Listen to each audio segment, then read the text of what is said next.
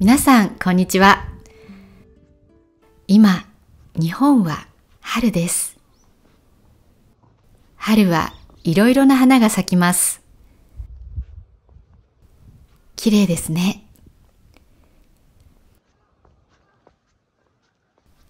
ここにも春を楽しんでいる動物がいます。何でしょうか？見えますか？鶏ですかね今日は円光院というお寺に来ました。桜も綺麗なので後で見に行きましょう。動画の最後にはライトアップされた夜桜もありますので最後まで見てくださいね。さて、この円光院は山梨県甲府市にあります。以前別のウォークトークの動画で武田神社に行きました。武田神社は武田信玄という戦国時代の武将の住んでいた場所でした。この円光院はその武田信玄の奥さん三条夫人のお墓があるお寺です。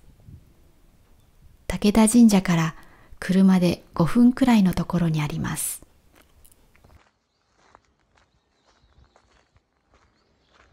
三条夫人は京都の出身です。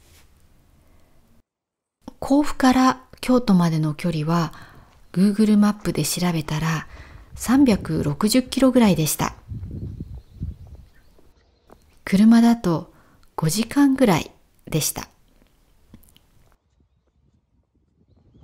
三条夫人が京都から甲府に来た当時1500年代の前半はどれくらい時間がかかったんでしょうね。全くわかりませんがとても遠かったと思います。京都は当時の首都でした。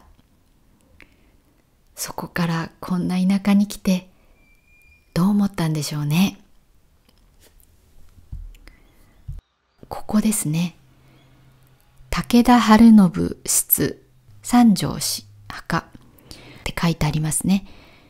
武田晴信は信玄のことです。室は奥さんのこと。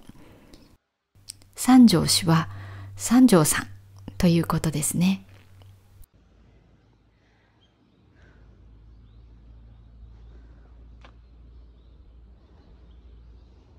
三条夫人は1521年に生まれ15歳で武田信玄と結婚しました。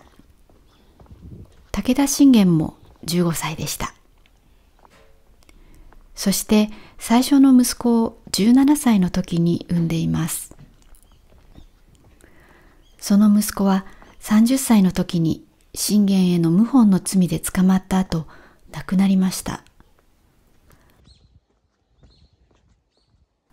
他にも子供が4人いましたが、そのうち2人は自分より先に亡くなっています。三条夫人は50歳で亡くなりました。当時の庶民の平均寿命は30歳くらいらしいです。それに比べたら長生きだったのかもしれません。でも今と比べると50歳はまだ若いですよね。ここから甲府盆地が見下ろせます。周りより低くなっている場所を盆地と言います。甲府は360度山に囲まれています。あ、ちなみに京都も盆地です。盆地の特徴は夏は暑くて冬は寒いということです。甲府の夏は40度を超えて冬はマイナス8度ぐらいまで行きます。桜を見に行く前にお見せしたいものがあります。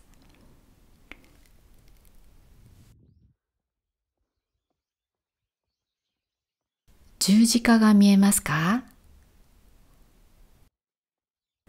ここ、円光院は仏教のお寺です。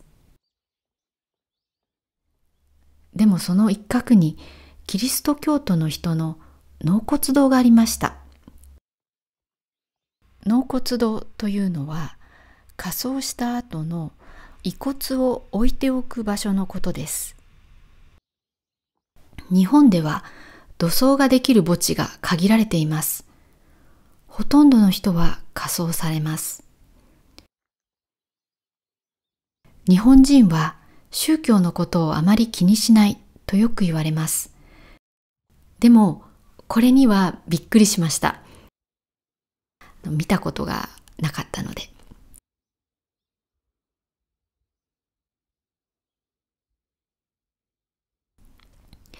はい。では桜を見に行きましょう。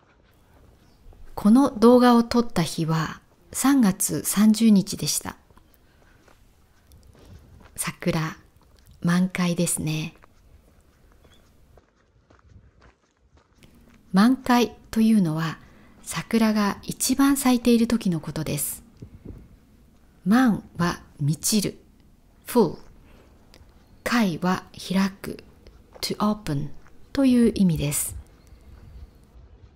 花は咲くと言いますが、満開の時は開くという漢字を使います。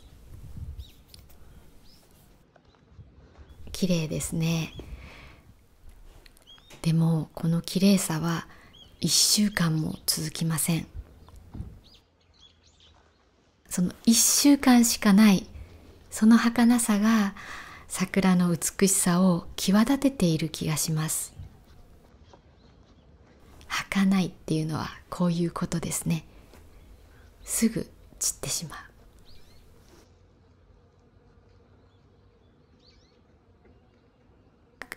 満開になった後はすぐ葉桜になってしまいます。葉桜というのは桜の花に葉っぱが混じっている状態です。こんな感じです。下の方が緑になっているのは分かりますか？こうやってだんだん葉っぱが出てきて桜が全部散ると桜の木は緑になります。秋にはその緑の葉が黄色っぽいオレンジっぽい色になります。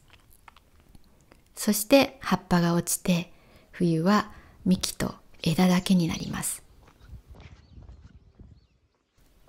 そして春にまた桜が咲きます。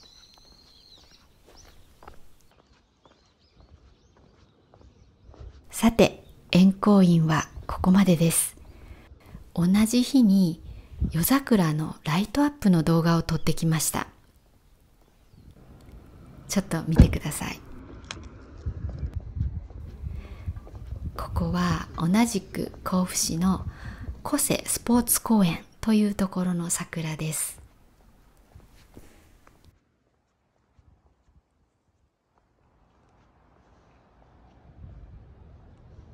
綺麗ですよね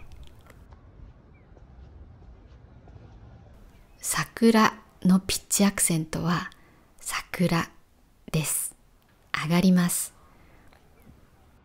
桜と下がると名字か女の子の名前になります。私の兄の奥さんの名前はさくらです。さくらさんは双子です。双子のもう一人はももこ」という名前です。ちびまる子ちゃんという日本でとても有名なアニメがあります。聞いたことはありますか？元は漫画で、それを書いたのはさくらももこさんです。なので最初にさくらさんとももこさんを知ったとき、さくらももこだびっくりしました。さくらももこさんが有名になったのは、さくらさんとももこさんが生まれた後なので、同じ名前なのは偶然です。同じ名前といっても漫画家のさくらももこさんはペンネームです桃子は桃から来ています桃の花は桜のちょっと前か同じ時期に咲きます、えー、桃が綺麗な時に桜も綺麗なんです。なのできっとさくらさんと桃子さんのお母さんもさくら桃子さんも桜と桃の花が綺麗だなって思ってそれでこの名前を付けたんじゃないかなって思います。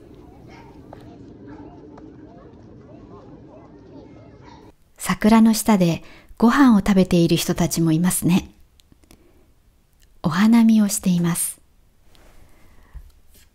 お花見は花を見ると書きますが実際は花を見るより食べたり飲んだりすることがメインになっていると思います。春は暑くもなく寒くもないので気持ちのいい季節です。花粉症でなければ外にいるのに最高の季節です。なのでお花見を楽しむ人もたくさんいます。はい。では今日の動画はここまでです。この動画が良かったら高評価とチャンネル登録をお願いします。ではまた次の動画でお会いしましょう。さよなら。またね